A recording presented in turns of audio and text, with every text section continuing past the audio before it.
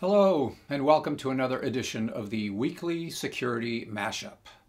I'm Taylor Armerding, Senior Security Strategist with the Synopsys Software Integrity Group, and I'm here to talk a bit about what's trending in software security and insecurity, including how to improve your own security. So, starting from the top. If you're a fan of open source software, and most people must be, given that it is now at least a component of nearly every application out there, a new report has some good news along with some urgent recommendations for better security. The 2018 Open Source Security and Risk Analysis Report, you can call it OSSRA, the latest on the topic from Black Duck by Synopsys, analyzed more than 1,100 commercial code bases in industries ranging from automotive to healthcare, financial services, manufacturing, and cybersecurity. It found, and SC Media UK reported, explosive growth in open source adoption, a 75% increase from the previous year, which means it was a component of 96% of the applications audited.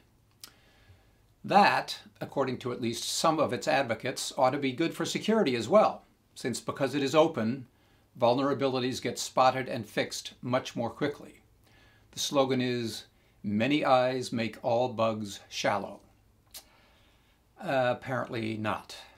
Black Duck found that 78% of the audited code bases contained at least one open source vulnerability, up from 67% the previous year. Among those, 54% were rated high risk and 17% high profile, including Freak, Heartbleed, and Poodle. Cybersecurity apps didn't do a whole lot better. 41% of them had vulnerabilities. This does not mean open source code is any worse than proprietary. Black Duck's Tim Mackey told SC Media that the many eyes theory isn't just a theory that it offers real benefits. But he said users have a responsibility as well since tools are available to help them not just find bugs, but, you know, actually fix them. They need to use automated tools to help them select secure, high-quality open source components from the outset and then patch them when critical vulnerabilities are disclosed, he said. And Ian Trump, Chief Technology Officer at Octopi Research Lab, added that the findings don't mean the sky is falling. He said the vast majority of those vulnerabilities are not remote code executable with user level privileges. And he's also a fan of many eyes. Sunlight and scrutiny of code is the best debug technique out there, he said. Page two, too good to be the whole truth. Pushing out a patch in three hours? That's got to be too good to be true. Well, it's true. It's just that, yeah, it's not the whole truth. so first, the good part. As anybody in the cybersecurity industry knows, it can feel a bit like an endless game of whack-a-mole. Patch one vulnerability and the bad guys discover another one, or two, or three, or a dozen. So, it's nice to hear when the good guys whack the mole quickly, in this case, a matter of hours. There were multiple reports this week that researchers had discovered a serious cross-site scripting vulnerability affecting all desktop versions of the encrypted chat app Signal. You know, the one that has received the ultimate endorsement from Edward Snowden.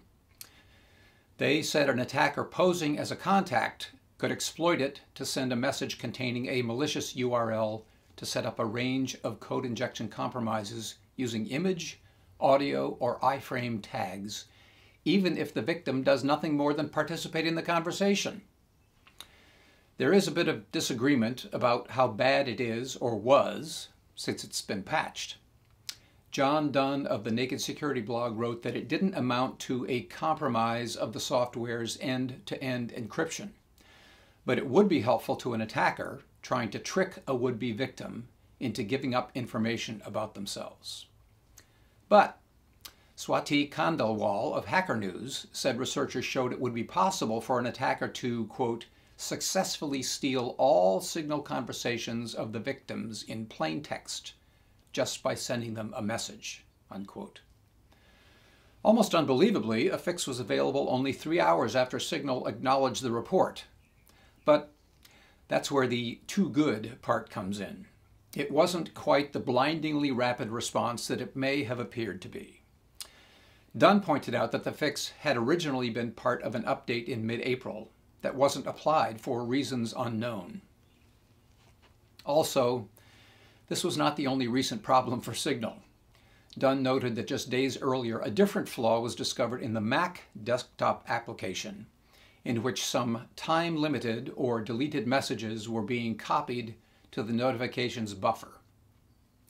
And Signal was also among apps plagued by a vulnerability disclosed just days ago in Electron, a software framework also used by Skype, Slack, Discord, WordPress.com, and numerous others. In other words, whack-a-mole lives, and patching takes more than a few hours. But hey, you have to take bits of good news where you can find them. Apocalypse soon? Well, for decades we've been hearing about the growing threat of a major cyber attack on U.S. critical infrastructure that could take down portions of the grid, cripple or destroy water distribution systems, shut down healthcare facilities, and more, much more. Former Defense Secretary Leon Panetta and others have called it an impending cyber Pearl Harbor.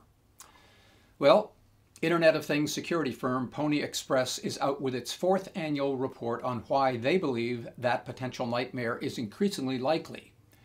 Because it is increasingly easy, thanks to the Internet of Evil Things, the title of the report. There are lots of depressing details in the report, but among the most troubling are that awareness doesn't necessarily lead to action the company found that 64% of respondents are more concerned about connected device threats, with IoT devices at the top of the list. Yet, slightly fewer are checking their wireless devices than last year. In short, 2018 marks the fourth consecutive year where perceptions and awareness of cyber attacks outpace prevention and action, they said. Which is especially troubling given that there are tools to make the software running your connected devices a much more difficult target. But you have to use them. And that's our advice for this week. The weekly security mashup is a group effort, so thanks again to our social media queen and producer Beth Gannett, to our content gurus Liz Samet and Mark Van Elderen, to our Final Cut Pro, Rachel Felson, and to our beloved team leader Cameron Caswell. And thanks to you for watching. Help us spread the word using your social media magic. Tweet it, link it, share it, and come back again next week. Until then, stay safe, stay secure, and help make others secure. I'm Taylor Armerding for the Synopsys Software Integrity Group. We help organizations build secure, high-quality software faster.